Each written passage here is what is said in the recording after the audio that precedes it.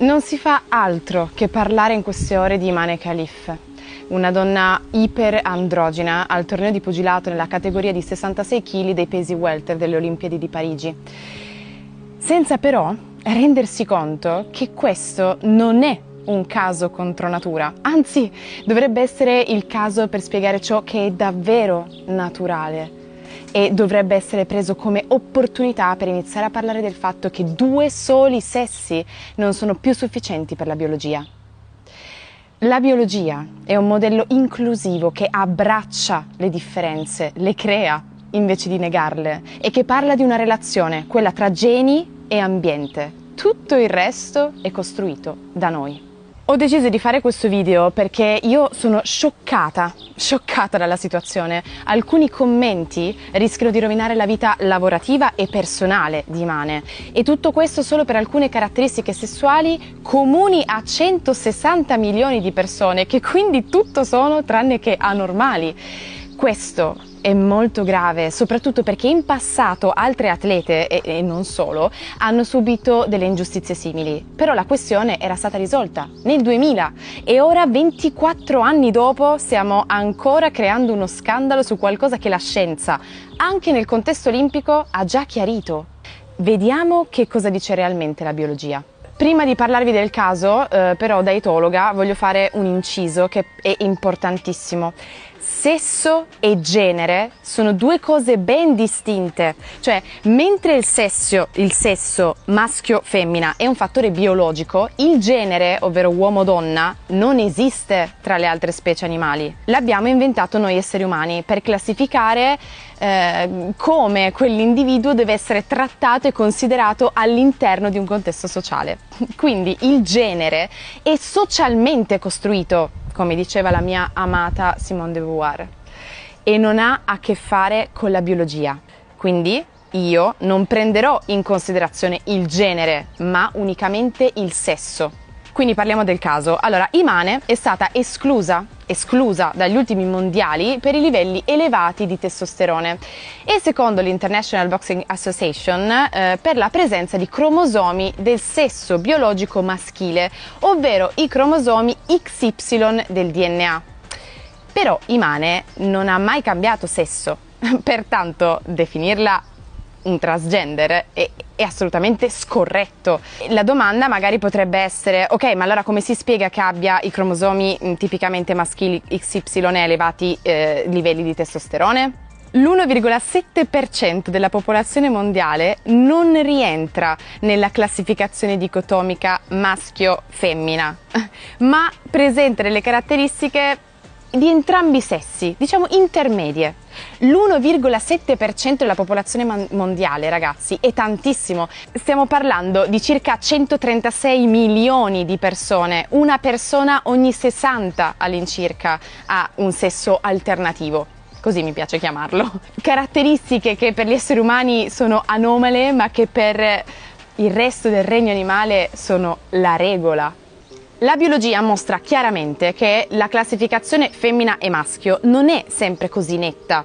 Ribadisco, questa è una convenzione che ci siamo imposti da soli. Siamo noi che rimaniamo fossilizzati sull'idea che il sesso sia solo maschio e femmina e non sappiamo che la natura è molto, ma molto più varia di come la immaginiamo. Nel regno animale accade, accade, di tutto e di più. Ci sono animali che cambiano sesso durante la propria esistenza, per esempio alcuni pesci. Alcuni pesci vivono metà della loro vita da maschi e metà della loro vita da femmine, o a un certo punto invertono il loro sesso acquisendo le capacità riproduttive del sesso opposto. L'orata, l'orata è uno di questi, nasce maschio e diventa femmina dopo due anni. Ci sono anche animali che eh, restano isolati, no? E quindi eh, rimanendo isolati, avendo poco poche possibilità di incrociare un partner del sesso opposto, ricorrono all'autofecondazione, quindi non hanno più bisogno di un partner, no? come il pesce sciranno e i serranidi. Eh, altri pesci persino si travestono si travestono. Qualche maschio ingrossa i propri testicoli in modo da far risultare il suo addome rigonfio come quello di una femmina gravida. Io lo giuro, lo giuro, e lo fanno per entrare nel nido delle femmine e deporre il loro sperma. Eh, ancora, i rospi maschi presentano oltre che ai testicoli anche una forma accennata di ovaia, che però se il maschio viene castrato, questo ovaia matura e l'individuo diventa femmina, una femmina fertile in grado di produrre dei girini. Non lo so, potrei farvi altri mille esempi per dimostrarvi che non è naturale che un organismo vivente debba essere necessariamente femmina o maschio e che possa tranquillamente essere anche entrambi. La letteratura in merito mostra che queste forme, diciamo, ambigue di sesso, ambigue non lo sono, non lo sono e a seconda della specie il fenomeno può poi coinvolgere o l'intera popolazione oppure limitarsi solamente ad alcuni suoi esemplari. Quindi, brrr, torniamo al nostro caso, Imane è ermafrodita? E che cosa vuole dire essere iperandrogina? Vi spiego un attimo. Allora, estrogeni e, ad- e, androgeni, questi ormoni, sono presenti in entrambi i sessi, solamente che sono percentuali diverse. Anche i maschi hanno gli estrogeni, che sono gli ormoni che solitamente vengono definiti come femminili, perché infatti sia gli androgeni che gli estrogeni derivano addirittura dallo stesso prodotto di partenza, l'androstenedione, che poi tramite dei processi chimici viene convertito in estrogeni e androgeni. Per questo motivo basare tutte le, le nostre classificazioni sugli ormoni a volte può essere fuorviante, tant'è che il caso di Mane non è l'unico, ma è solo l'ultimo di una lunghissima serie. Tutto quello di cui si sta discutendo in queste ultime ore con Imane è già avvenuto in passato. Uno dei casi più eclatanti è stato quello di Maria José Martinez Patigno, specialista nella, nella, corsa d'ostacoli, alla quale venne impedito di partecipare ai mondiali universitari di Kobe nel 1985. Fu squalificata per le stesse ragioni che ora riguardano Imane. E Martinez Patigno non superò il test di femminilità, che all'epoca era basato proprio sui cromosomi prima ancora dei cromosomi erano praticati dei test terribili come sfilare nude davanti alla commissione. Però comunque, eh, che cosa vuole dire test cromosomici? Che se avevi il cromosoma XX eri considerata femmina e se avevi il cromosoma XY eri considerata maschio. E Maria José apprese solamente dopo questo test di essere dotata di un cromosoma XY, che è quello che dovrebbe determinare il sesso maschile e questa scoperta la sconvolse, sconvolse l'atleta, la quale si era sempre sentita femmina e come tale, fino ad allora, era stata così riconosciuta anche da tutti gli altri. E questa rivelazione ebbe delle conseguenze drammatiche sulla sua vita. Lei fu squalificata, spogliata di alcune medaglie, le, fu, le fu proibito di gareggiare con la squadra femminile e le fu revocata la borsa di studio per praticare la sua disciplina. Inoltre, come se non bastasse, ebbe anche fine la relazione con il suo compagno. Ma quella di Martinez Patigno eh, è, è, semplicemente una sindrome, che viene chiamata sindrome de, da insensibilità agli androgeni, e non è una malattia. È una condizione in cui una persona con organi genitali femminili, e quindi di fatto una femmina, può avere dei cromosomi XY e dei testicoli interni che producono effettivamente de- degli ormoni maschili. Tuttavia però questi ormoni eh, che causano questi testicoli interni non causano lo sviluppo delle caratteristiche maschili, quindi non c'è dubbio che si tratti di una femmina, perché gli organi genitali esterni si sviluppano perfettamente come quelli femminili.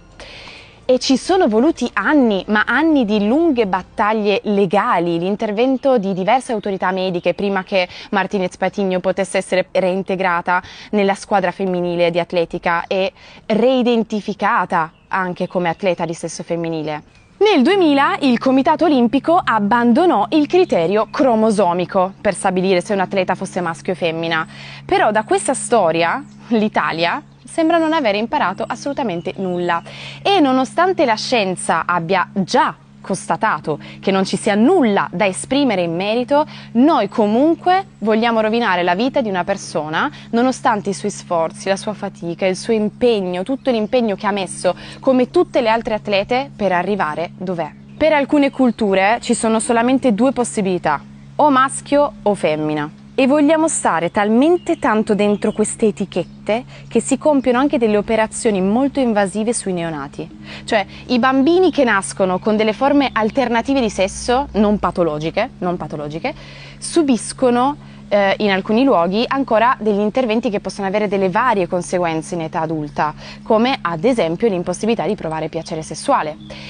E quindi negli ultimi anni sono state fondate delle associazioni che rivendicano i diritti delle persone intersessuali e chiedono che sia lasciata poi a loro la libertà di scelta quando poi diventeranno adulti. Data la presenza di diverse forme sessuali nel mondo, eh, è stata avanzata la proposta di riconoscere non solo due, ma cinque sessi, cinque! Questo significherebbe aggiungere tre categorie, un ermafrodita standard, uno più vicino al, al, femminile e uno invece più vicino al maschile. In questo modo non si imporrebbe una scelta tra soli due sessi, che non è universale come possiamo ben vedere. Però non tutte le culture accettano diverse possibilità sessuali per via delle tradizioni, per via delle norme sociali, per le abitudini locali. E, tuttavia questo però non giustifica la negazione dei diritti e delle opportunità per un sesso rispetto all'altro. In Italia purtroppo ancora una volta noi non abbiamo abbracciato le svariate possibilità della biologia. Anzi, anzi, il dibattito si è scatenato proprio nel momento in cui Imane ha combattuto contro una pugile italiana. Qualche politico ha fatto leva proprio sulle convenzioni che ci siamo imposti con affermazioni alquanto opinabili, dicendo che Imane avrebbe potuto avere per questa sua condizione una sorta di vantaggio sulle altre concorrenti che rendeva la gara non equa. tuttavia, tuttavia la scienza, anche a livello olimpico, ha già dimostrato che così non è.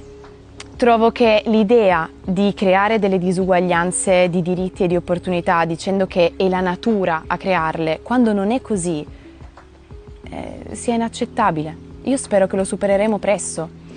Alla fine si tratta di rispetto reciproco, riconoscendo che non è necessario essere identici per essere uguali e questo vale anche per le ingiustizie che subiscono tutti gli altri esseri viventi.